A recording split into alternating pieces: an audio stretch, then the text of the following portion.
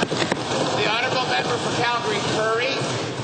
Thank you, Mr. Speaker. Oh, what if we're in China shop? I have the floor now, honourable member. Thank you. Healthcare, an issue that should be uh, should uh, not be political in nature, has become entirely politicized because of the decisions that were made by this PC government, the most disruptive and damaging of which was made while this premier sat at the cabinet table. Now Albertans justifiably have no trust in us politicians to fix the very system that we made sick. sick. To the premier, given the unfortunate reality that the only way to remove the politics polluting our healthcare system now is to understand the decisions that led us here and who made them.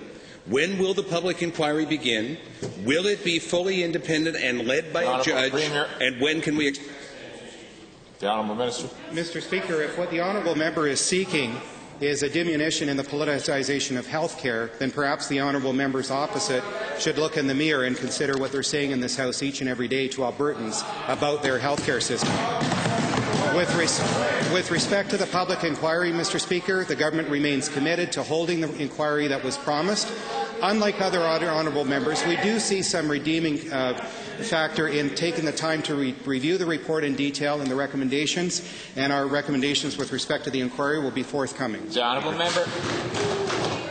Wow, Mr. Speaker. To the Premier. Uh, since you're promising an inquiry, and since you brought in a bill last fall to have the Health Quality Council conducted, and since the Health Quality Council said yesterday, well, in essence, well, you know, okay, we'll run it if you want, but we don't really want to, will you finally call a fully independent, fully public judicial inquiry and nothing less? Mr. Speaker, the, the, the honourable member fails, of course, to recognize all of the other rec- recommendations in the report that point to improvements in the system that have already begun and that we can further enhance.